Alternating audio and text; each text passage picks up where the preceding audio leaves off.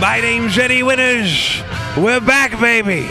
And on the line, Barry. baby. Barry, how you doing, baby? You doing good? Where I'm, I'm, I'm, I'm up here at Universal uh, Studios and uh, having a good time. Very nice, very nice. It is it is a, a pleasure to have you back on the program. Uh, we, we we wanted to get the old rundown, baby, to see how we're doing this week. We're doing good. Uh, the Orioles are uh, two games over 500 on the West Coast, which is uh, they beat King Felix, they beat everybody. Uh, uh, so I, I'm uh, very happy about it. My slogan is the birds will be there at the buzzer. I can guarantee you. There it is. Yes. You know, Barry, we've we got some we got some fans that wrote in and uh, and and has some questions for you. I don't see they they want to know your opinion. And uh, we got number one fan of the program, uh, Mike likes to. Uh, he has some great questions, and he wanted to know uh, about this the, the the O's recent hitting slump, and uh, he wanted to know what you thought about how that is, that's going to affect the Orioles. I really don't think it's going to affect them that much. They're uh, they're hitting slump. They're pitching very well right now. Uh, the bullpen has got uh, Darren O'Day's got the lowest ERA. The, the first time they've allowed a run in 44 innings. I think once they once they get home, uh, they'll start hitting. Uh, the they're putting a shift on Davis, which is uh, uh, cut his average down substantially, but he's still hitting home runs. But uh, I, I'm really looking Cruz. They're walking Cruz a lot uh, not letting him get at bats, but I look for them to rebound. And they're still winning close games, and that's what really counts. And I think the Birds will be there at the buzzer. There's no question about it. I told you about Tampa Bay. They won nine in a row. Uh, look for them to uh, go on that West Coast. That's a do or die situation for them. I look for the Orioles to win the division uh, uh, probably about eight or ten games. That that is a great rundown. We're gonna we're gonna. I'm on the edge of my seat. Oh, I can't wait to see how this is gonna turn out. And we have also got another question uh, from Steve.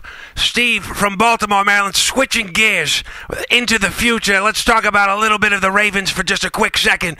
Steve wants to know almost a similar question. He's he, he wrote in about the arrests recently for several players. Uh, how how is that going to affect the Ravens uh, coming uh, when the start of the season? Uh, it's not going to affect them hardly at all. A bunch of those arrests were like, uh, uh, like the latest arrest with uh, Jimmy Smith. Uh, he was helping a woman out in uh, the bathroom until the paramedics got there. So, uh, and they gave him a, a, a crappy arrest. I mean, it was like a disorderly, con- a disorderly conduct for something stupid. So what he what he does, and he just in the training camp, two wide receivers that they just drafted didn't even get off the line of scrimmage against Jimmy Smith for two quarters. He is, and they are running and downhill. Look for them to uh, probably, uh, no, no question, they're going to win the division. Pierce, uh, now Ray Rice has been suspended for two games, but there was a comedian that said something, and I thought it was pretty funny about Ray Rice. He said, she hit him 15 times, he hit her twice. What happened to equal rights, equal pay? There it Ray is. Rice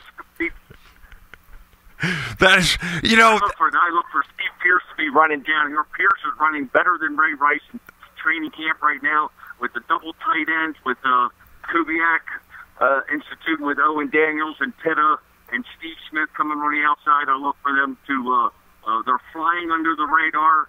Yonder, their the offensive line is intact, and I look for them uh, to start off. Look for them might be a five-star play against Cincinnati Pittsburgh the first two weeks. I can't wait. We're going to be looking at it. Uh, Barry, all the way down from Universal, I appreciate you coming on the program and, and giving us the lowdown. No question about it, and I'm going to tell you one thing. The Birds, listen, San Francisco 49ers, would they, they should be worried about San Francisco out there with all these suspensions with Aldon Smith and stuff like that. Oh, yes. And, uh, uh, Bowers. And, uh, and I'll tell you what, that's going to affect them more than it's going to affect because that's on the defensive end. And you need defense, and we're not affected on the defense, we're affected on the offense. But with Kubiak coming in there, I look for them to do a double uh, wide receivers. Uh, they're going to be running downhill, one one one back set. I look for them to uh, be really strong this year. They're flying under the radar. Nobody's giving them a chance. They're all talking about New England. Remember, Flacco Flacco uh, beat Peyton Manning. He shut out Brady. He beat Andrew Luck. And uh, we won against Kaepernick. So you can't do any better than that. He throws, throws the best long ball in football, and I, and they got Steve Smith to go across the middle because you guys stole my Anquan Boldin. There it is. He's he, not stolen, but maybe, maybe just procured. know, that was a picture. That's it, Barry. Thank you so much, baby, for coming on the program.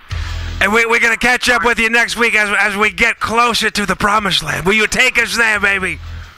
Oh, I am going to take you to the promised land. Remember, the birds will be there at the. Bingo. baby. There it is. There it is. Thank you so much, Barry. Thank you so much.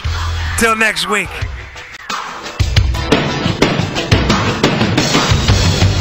Barry the Stallion Streib, ladies and gentlemen.